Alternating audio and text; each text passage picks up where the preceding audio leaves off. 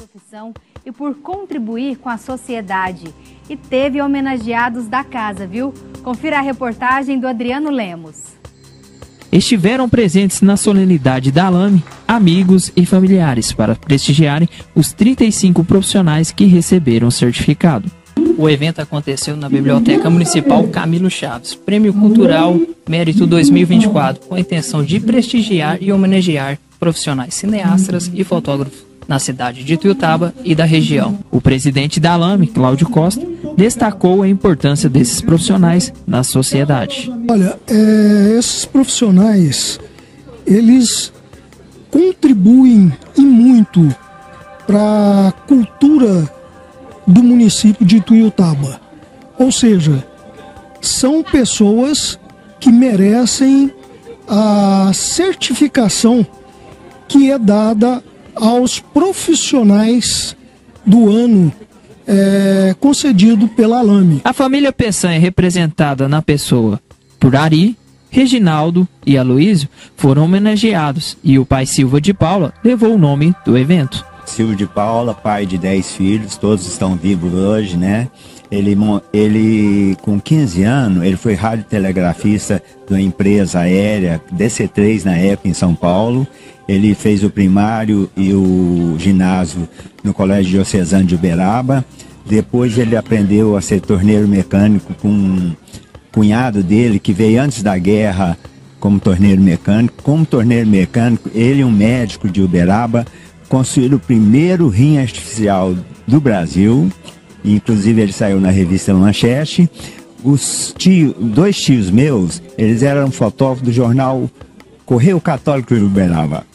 Aí meu pai com eles aprendeu a profissão, nós fomos para Goiânia, né? Em Goiânia nós montamos o primeiro laboratório de revelar filme colorido. Depois fomos para Santa Helena, montamos o primeiro. Depois nós tínhamos três opções: Uberlândia, Uberaba e Tutaba. Resolvemos por Itutaba. Então é uma honra para mim homenagear meu pai, certo? Sinceramente, eu tô envaidecido, né? Pai é pai, né? Já o Valdomiro Martins, mais conhecido como Mirote, é um dos fotógrafos com mais tempo de profissão. Ele relembrou os momentos durante a sua trajetória. Não tem nem palavra para expressar, porque atualmente sou o fotógrafo mais antigo dos vivos, entendeu? Porque o resto já morreu antes de mim. Eu tenho 70 anos que eu comecei na fotografia. Eu comecei com 10 anos, estou com 80. Entendeu? Então é uma satisfação imensa poder estar aqui, ver essa moçada que eu nem conheço ninguém mais. Entendeu? Que tem anos que eu já deixei de fotografar.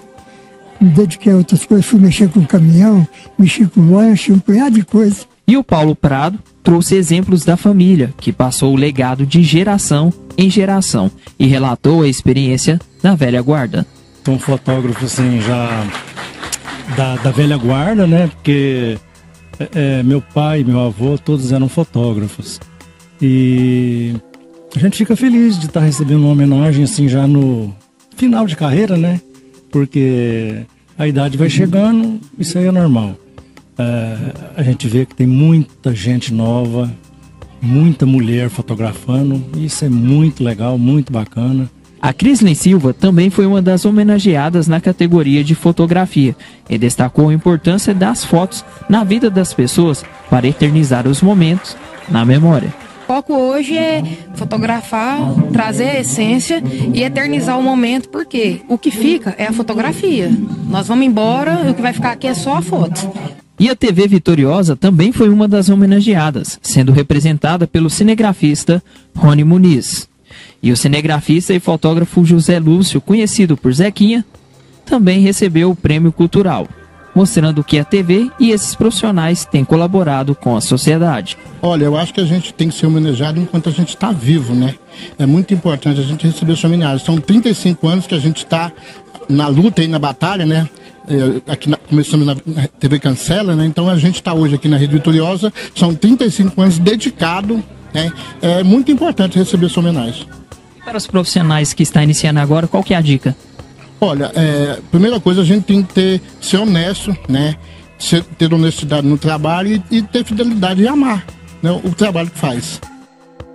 Parabéns a todos os profissionais da área que foram homenageados, colegas, pelo reconhecimento, trabalho prestado à comunidade.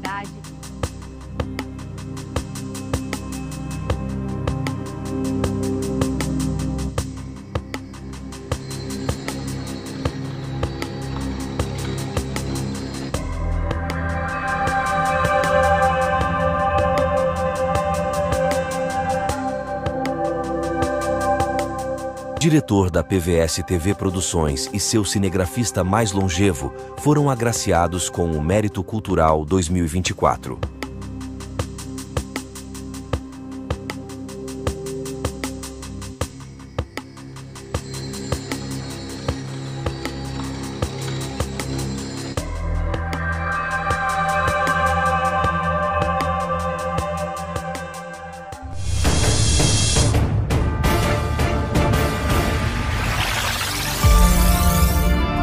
Apoiadores culturais desse post.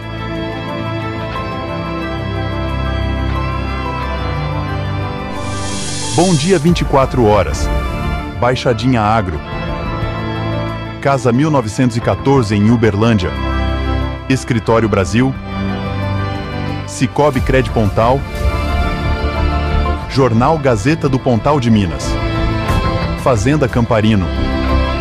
Supra Supermercado Romão, Administração dos Anos Dourados, PVS Comunicação e Marketing, Fazenda Angico, Nelore UF.